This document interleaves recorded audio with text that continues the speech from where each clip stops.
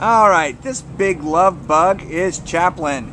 Chaplin's ID number is A4988320, and Chaplin is a three-year-old pit bull mix who came into the shelter as a stray on August 30th.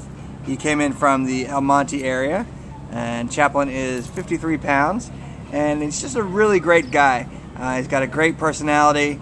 Um, he's got uh, about 20 pounds of tongue that he likes to uh, lick and give kisses with, and it's just a really uh, personable guy. He had a uh, a dog that he a larger dog that he was playing with.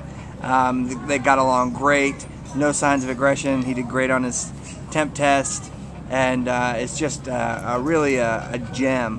what else can you tell us about Chaplin?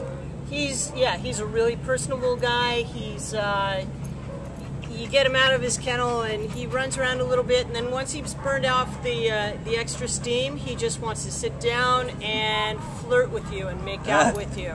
So he's going to be a great guy for uh, you know in the evenings when you want to watch your watch your uh, TV, your shows, and all that. But he's also got a really nice level of uh, athleticism, so you can take him on hikes, you can take him on runs if you run.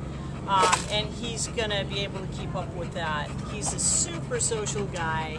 Uh, he's, uh, you know, as, as you said earlier, he was around another male dog, and they're both unneutered dogs, which is, um, you know, a recipe for if, if a dog is going to have issues with other dogs, that would be a recipe for, for him not liking the other dog. And he did. He liked the other dog. They were like brothers.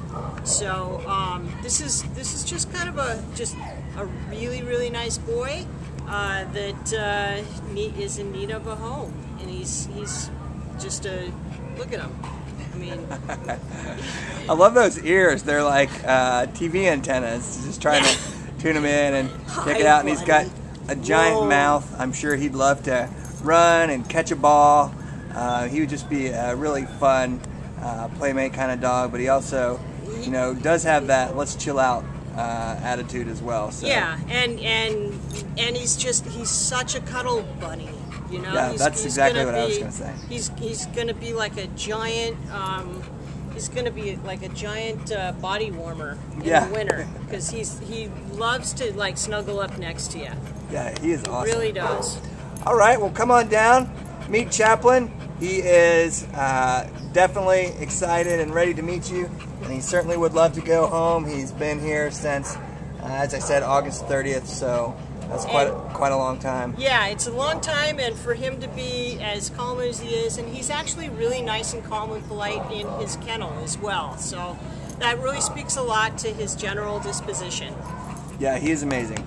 So he's at the Baldwin Park Shelter. Come down here and let that uh, big doggy tongue give you some kisses and uh, prepare yourself for falling in love.